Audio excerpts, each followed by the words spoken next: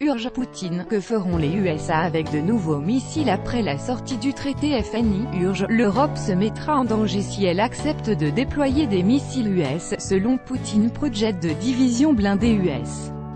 En Pologne, Moscou met en garde l'intention de Varsovie d'autoriser les États-Unis à déployer une division blindée sur son territoire oblige la Russie à prendre des mesures adéquates, selon le ministre russe de la Défense.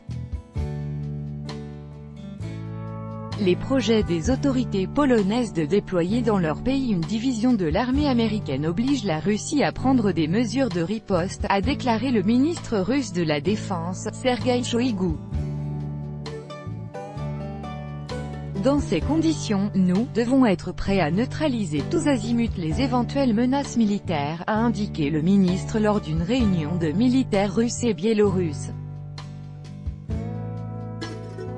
Selon lui, les intentions de Varsovie sont contre-productives et ne contribuent pas à la stabilité et au renforcement de la sécurité régionale.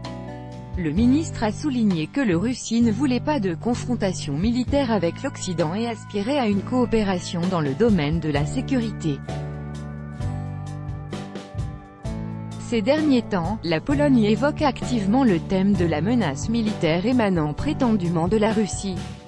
Ainsi, Varsovie a adopté un programme d'accroissement conséquent des effectifs de l'armée polonaise, autorisant le déploiement de bataillons multinationaux de l'OTAN et d'une brigade blindée de l'armée américaine.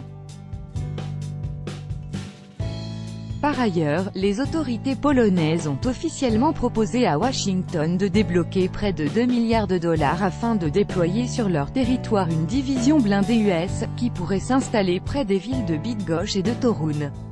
Le document a été envoyé au Congrès américain et à des représentants de l'administration du président Trump. De son côté, le directeur du Bureau de la Sécurité nationale de Pologne, Pavel Solor, a qualifié le déploiement de la division d'investissement dans la sécurité. Moscou a maintes fois souligné que la Russie n'attaquerait jamais un pays membre de l'OTAN.